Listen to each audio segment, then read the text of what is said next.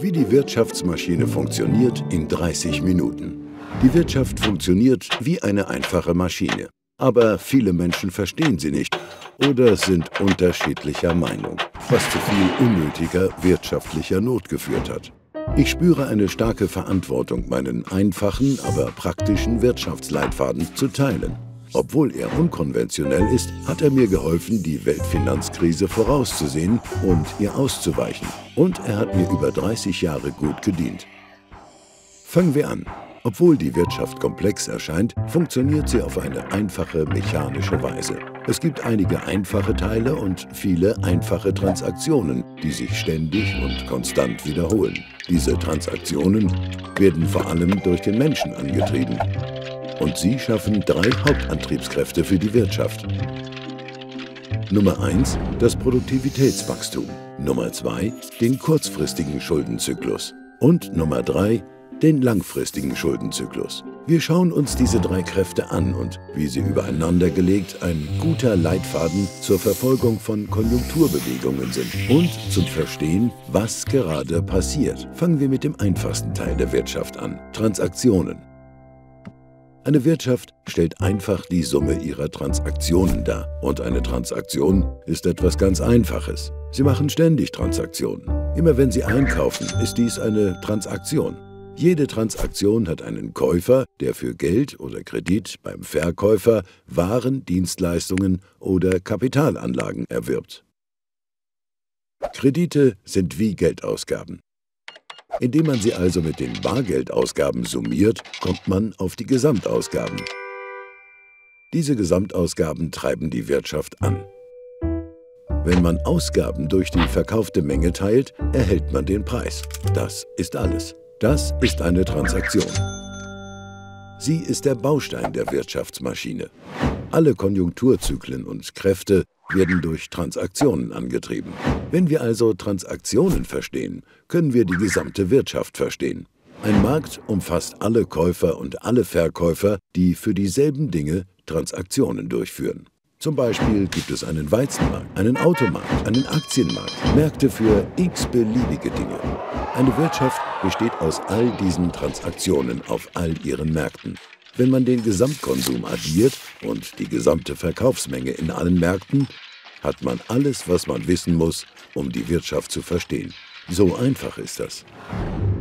Menschen, Unternehmen, Banken, Regierungen befassen sich alle mit Transaktionen, so wie gerade beschrieben, durch den Tausch von Geld und Kredit gegen Waren, Dienstleistungen und Kapitalanlagen. Der größte Käufer und Verkäufer ist der Staat, der aus zwei wichtigen Teilen besteht. Einer Regierung, die Steuern einzieht und Geld ausgibt, und einer Zentralbank, die sich von anderen Käufern und Verkäufern unterscheidet, da sie die Geldmenge und Kredite in der Wirtschaft steuert. Sie tut das durch Beeinflussung der Zinssätze und durch Drucken von Geld.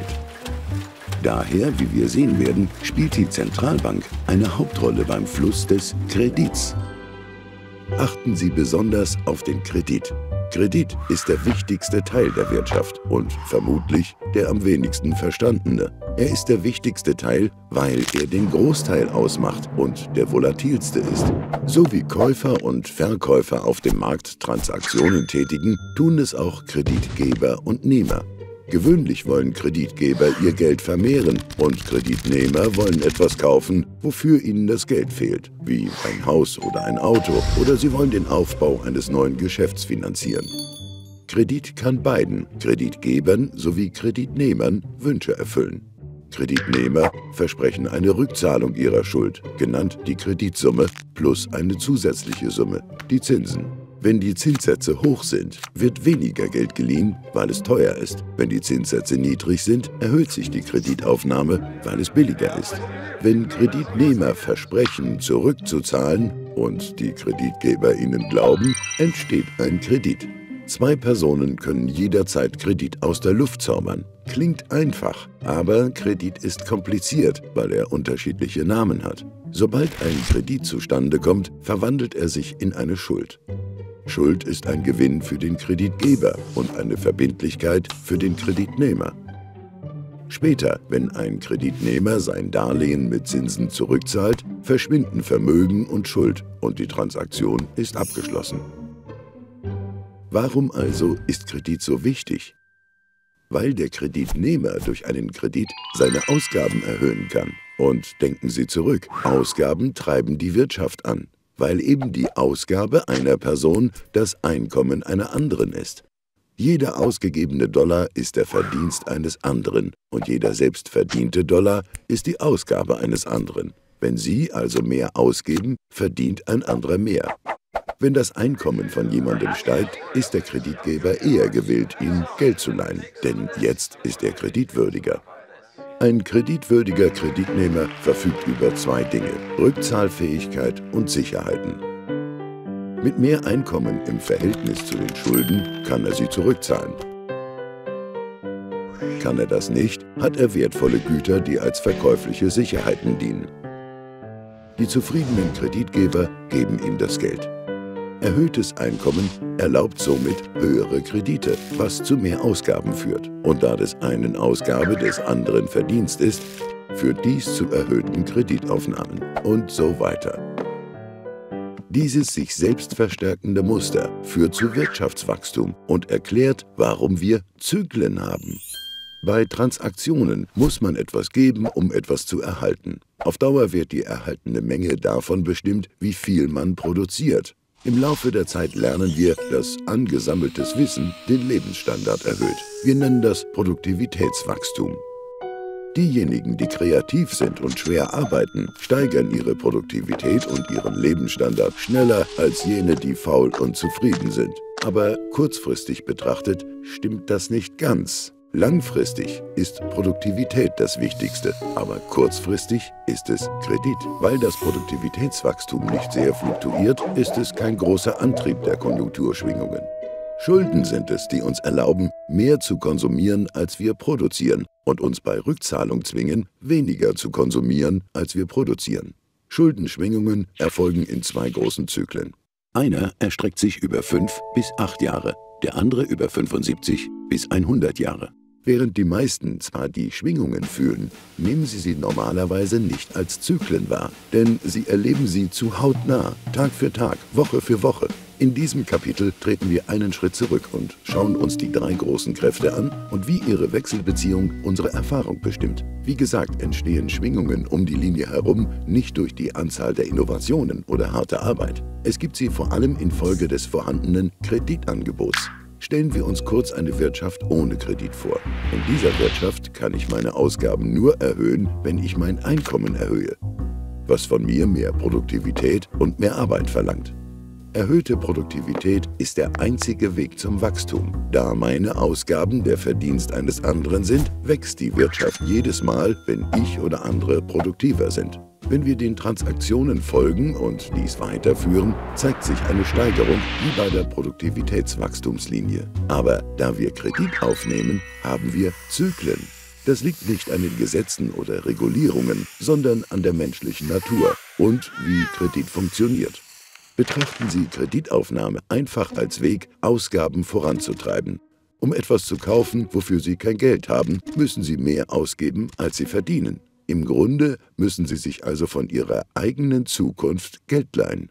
Dadurch erzeugen sie eine Zeit in der Zukunft, in der sie nicht so viel ausgeben können, wie sie verdienen, um ihre Schulden zu tilgen. Das ähnelt sehr schnell einem Zyklus. Sie erzeugen also jedes Mal einen Zyklus, wenn sie sich Geld leihen.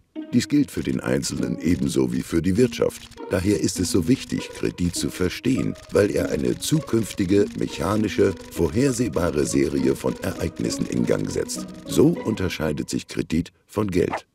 Geld wird für den Abschluss von Transaktionen gebraucht. Wenn Sie ein Bier bei einem Barkeeper in Bar bezahlen, ist die Transaktion sofort abgeschlossen. Wenn Sie jedoch ein Bier mit Kredit bezahlen, ist es, als würden Sie anschreiben. Sie versprechen, in der Zukunft zu zahlen. Sie und der Barkeeper erzeugen einen Vermögens- und Schuldposten. Sie haben aus dem Nichts Kredit geschaffen. Erst wenn Sie die Zeche später bezahlt haben, lösen sich Vermögen und Schuld wieder auf. Die Schuld verschwindet und die Transaktion ist abgeschlossen. In Wirklichkeit ist das, was die meisten Geld nennen, eigentlich Kredit. Die Gesamtsumme des Kredits in den USA beläuft sich auf ca. 50 Billionen Dollar, während die gesamte Geldsumme bei nur 3 Billionen liegt. Denken Sie daran, in einer Wirtschaft ohne Kredit ist gesteigerte Produktion der einzige Weg, Ausgaben zu erhöhen. Aber in einer Wirtschaft mit Kredit kann man seine Ausgaben auch durch Kreditaufnahme erhöhen. Resultat, eine Wirtschaft mit Kredit kann mehr ausgeben und Einkommen können kurzfristig schneller steigen als die Produktivität, doch nicht auf Dauer. Verstehen Sie mich nicht falsch, Kredit ist nicht unbedingt etwas Schlechtes, das nur Zyklen verursacht. Er ist schlecht, wenn er Überkonsum finanziert, der nicht getilgt werden kann. Er ist jedoch gut, wenn er Mittel effizient zuweist und Einkommen produziert, mit dem Sie Schulden tilgen. Wenn Sie zum Beispiel ein großes Fernsehgerät auf Kredit kaufen, erarbeitet das kein Einkommen für Sie, um die Schulden zu tilgen. Wenn Sie aber einen Traktor auf Kredit kaufen und dieser Traktor hilft Ihnen, mehr zu ernten und mehr Geld zu verdienen, können Sie Ihre Schulden bezahlen und Ihren Lebensstandard erhöhen. In einer Wirtschaft mit Kredit können wir den Transaktionen folgen und sehen, wie Kredit Wachstum erzeugt. Ich gebe Ihnen ein Beispiel.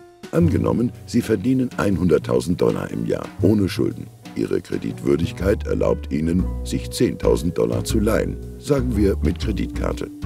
Jetzt können Sie 110.000 Dollar ausgeben, obwohl Sie nur 100.000 verdienen. Da Ihre Ausgaben das Einkommen eines anderen sind, verdient jemand 110.000 Dollar. Die schuldenfreie Person mit den 110.000 Dollar kann 11.000 leihen und kann 121.000 Dollar ausgeben, obwohl sie nur 110.000 verdient hat. Ihre Ausgaben sind das Einkommen eines anderen und indem wir den Transaktionen folgen, fangen wir an zu sehen, wie dieser Prozess im selbstbestätigenden Muster funktioniert. Vergessen Sie aber nicht, dass Geldaufnahme Zyklen erzeugt. Und wenn der Zyklus nach oben geht, muss er irgendwann wieder runterkommen. Dies bringt uns zum kurzfristigen Schuldenzyklus.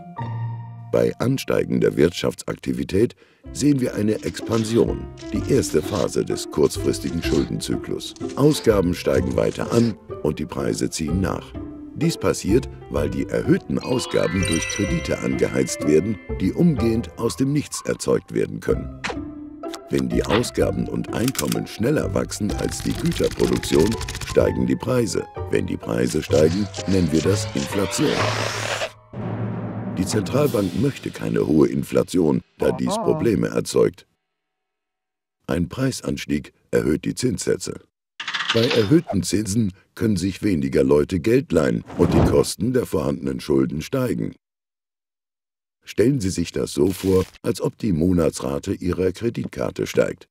Da weniger Geld geliehen wird und man höhere Schuldenrückzahlungen hat, bleibt weniger Geld übrig und die Ausgaben verringern sich. Und da die Ausgaben des einen das Einkommen des anderen sind, sinken die Einkommen und so weiter und so fort. Wenn man weniger ausgibt, sinken die Preise. Wir nennen das Deflation. Die Konjunktur verlangsamt sich und wir haben eine Rezession. Wenn die Rezession zu schlimm wird und die Inflation kein Problem mehr ist, senkt die Zentralbank die Zinsen, damit sich die Konjunktur wieder erholen kann. Bei niedrigen Zinsen sinken die Tilgungsbeträge, Kreditaufnahme und Konsum ziehen wieder an und wir erleben erneut eine Expansion. Wie Sie sehen, funktioniert die Wirtschaft wie eine Maschine. Im kurzfristigen Schuldenzyklus wird der Konsum nur durch die Bereitschaft von Kreditgebern und Nehmern gezügelt, Kredite zu geben und zu nehmen. Wenn Kredite leicht zu haben sind, expandiert die Konjunktur. Wenn nicht, gibt es eine Rezession Beachten Sie, dass dieser Zyklus primär von der Zentralbank gesteuert wird. Der kurzfristige Schuldenzyklus dauert in der Regel fünf bis acht Jahre und wiederholt sich jahrzehntelang immer wieder. Beachten Sie aber, dass das Ende und der Anfang eines jeden Zyklus mehr Wachstum und Schulden hervorbringt als sein Vorgänger. Warum? Weil die Leute ihn vorantreiben. Sie haben die Neigung, mehr zu leihen und auszugeben, anstatt ihre Schulden zu begleichen. Es ist menschlich. Daher steigen, langfristig betrachtet, die Schulden schneller als die Einkommen. Dies erzeugt den langfristigen Schuldenzyklus. Obwohl sich Menschen immer weiter verschulden, gewähren Kreditgeber immer freizügiger Kredite. Warum? Weil alle glauben, es läuft alles großartig. Die Leute konzentrieren sich nur auf das unlängst Geschehene. Und was ist unlängst geschehen? Einkommen sind gestiegen, Vermögenswerte steigen, der Aktienmarkt brummt. Wir haben einen Boom.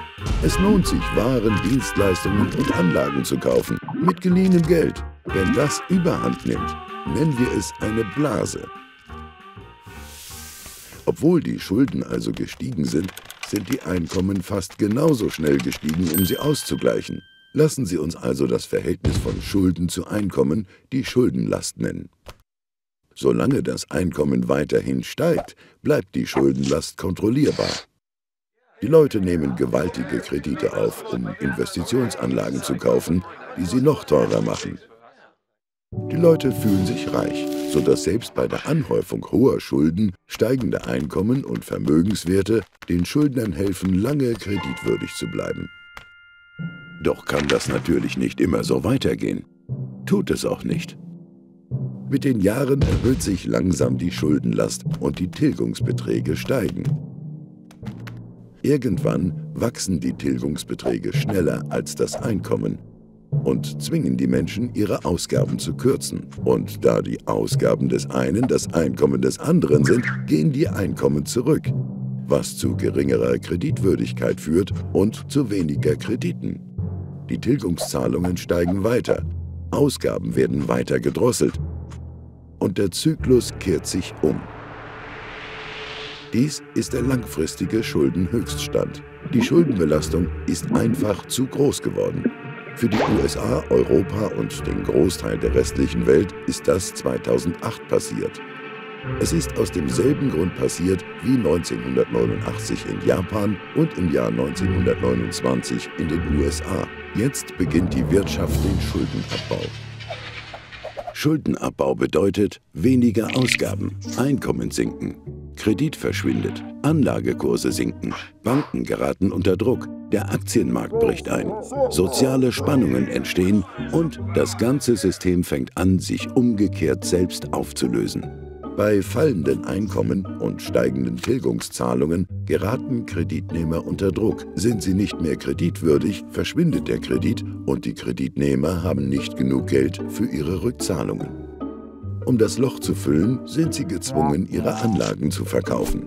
Der Ansturm von Anlageverkäufern überflutet den Markt, zugleich sinken die Ausgaben. An diesem Punkt bricht der Aktienmarkt ein, der Immobilienmarkt geht baden und die Banken geraten in Schwierigkeiten. Wenn Anlagewerte sinken, sinkt der Wert der Sicherheiten der Schuldner. Das macht sie noch kreditunwürdiger. Die Menschen fühlen sich mittellos. Es entsteht rapider Kreditschwund.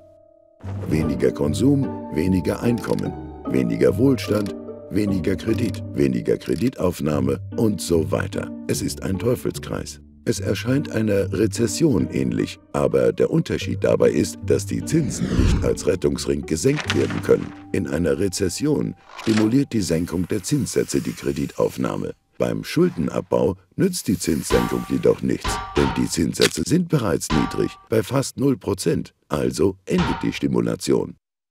Zinssätze in den USA sanken auf 0% während des Schuldenabbaus der 30er Jahre und wiederum 2008. Der Unterschied zwischen einer Rezession und einem Schuldenabbau ist, dass der Schuldner beim Schuldenabbau einfach zu hoch verschuldet ist und durch eine Zinssenkung nicht entlastet werden kann.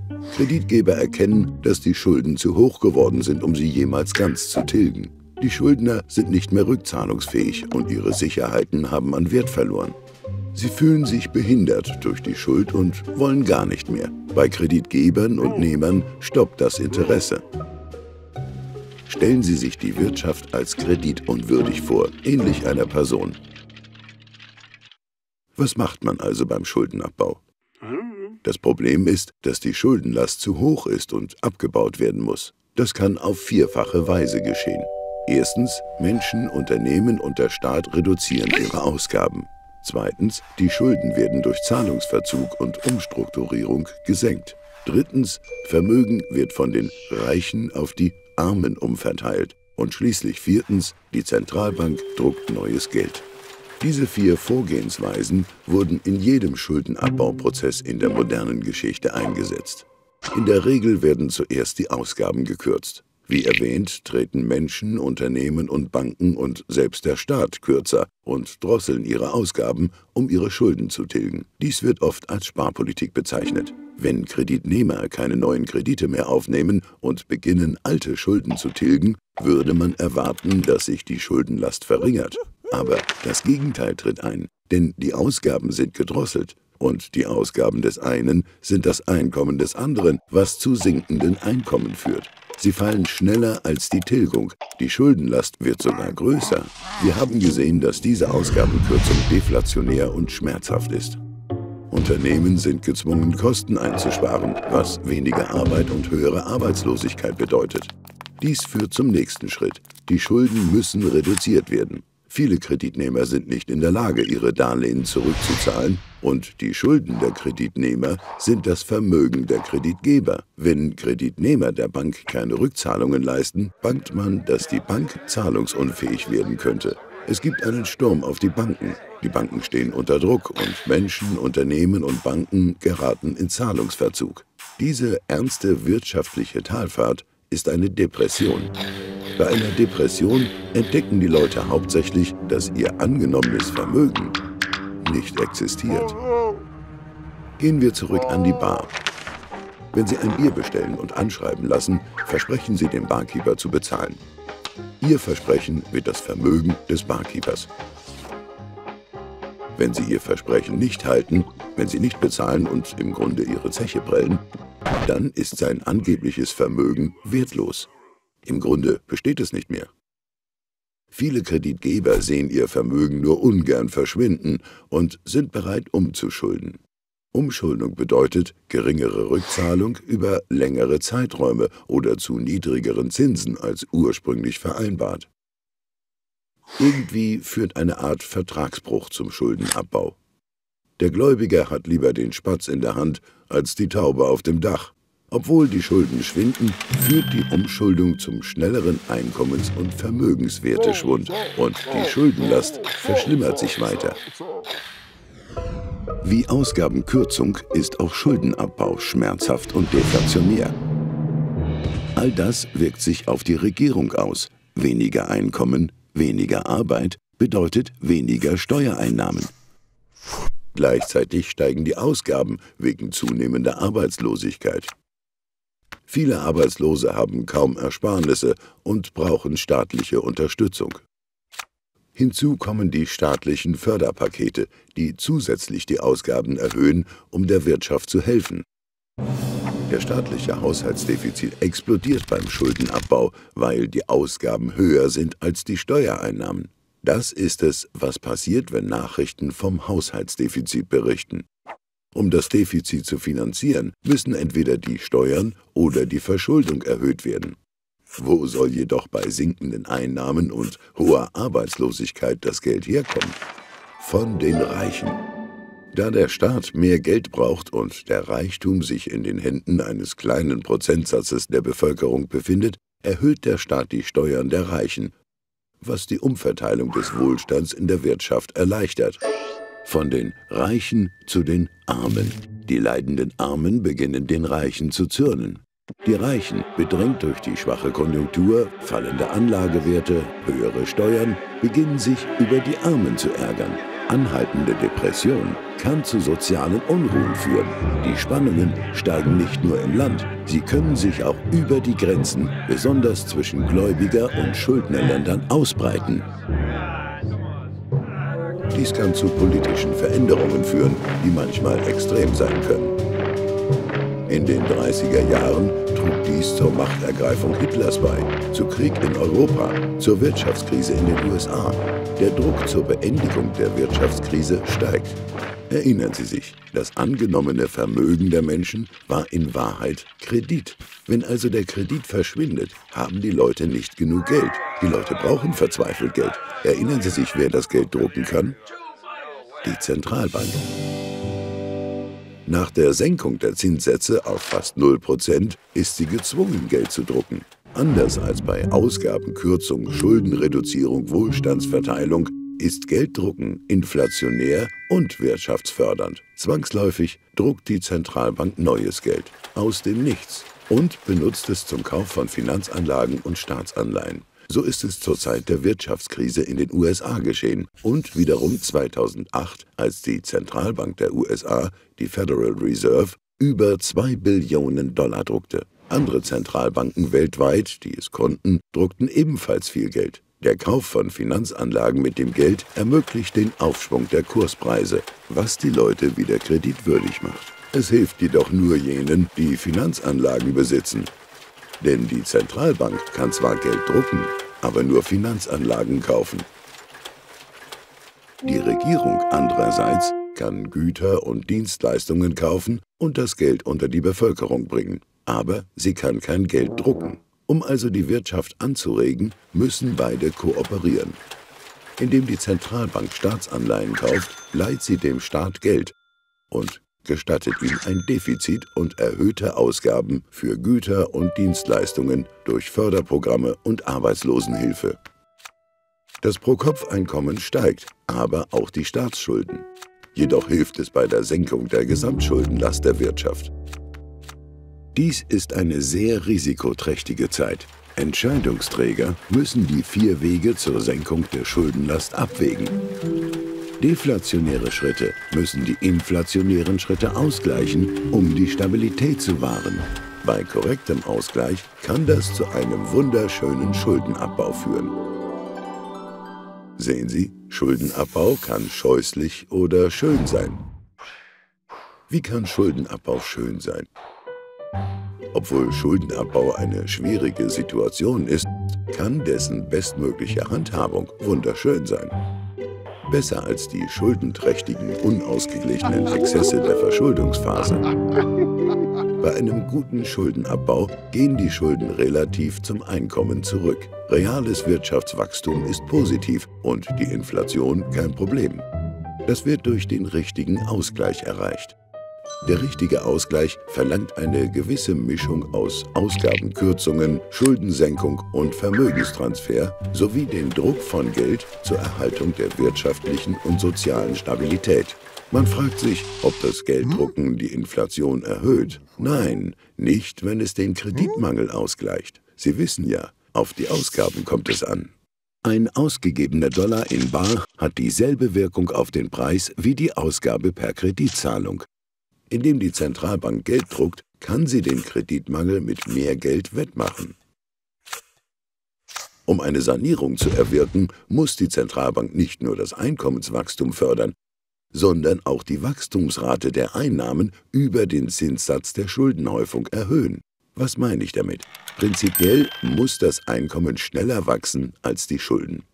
Ein Beispiel. Nehmen wir an, ein Land, das einen Schuldenabbau betreibt, hat ein Schulden-zu-Einkommensverhältnis von 100 Prozent. Das bedeutet, die Höhe seiner Schulden entspricht dem Jahreseinkommen des ganzen Landes. Jetzt stellen Sie sich den Zinssatz dieser Schuld vor. Sagen wir, er liegt bei 2 Prozent. Wenn die Schuld durch die Zinsen um 2 Prozent wächst und das Einkommen nur um ca. 1 Prozent, werden Sie nie die Schuldenlast reduzieren. Sie müssen genug Geld drucken, um die Einkommensrate über den Zinssatz zu bringen. Gelddrucken kann jedoch leicht missbraucht werden, weil es einfach ist und man es den Alternativen vorzieht. Der Punkt ist, nicht zu viel Geld zu drucken und keine unerwünscht hohe Inflation zu verursachen, wie in Deutschland während des Schuldenabbaus der 20er Jahre.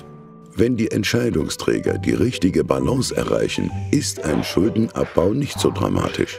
Das Wachstum ist langsam, aber die Schuldenlast sinkt. Das ist schöner Schuldenabbau.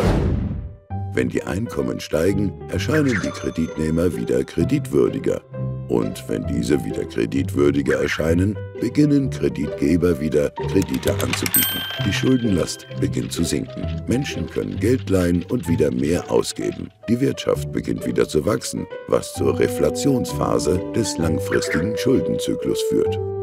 Obwohl ein schlecht durchgeführter Schuldenabbauprozess schrecklich sein kann, kann man bei richtiger Handhabung das Problem irgendwann beheben. Es dauert circa ein Jahrzehnt oder mehr, um die Schuldenlast zu verringern und die Konjunktur zu normalisieren. Daher der Begriff verlorenes Jahrzehnt. Zum Abschluss.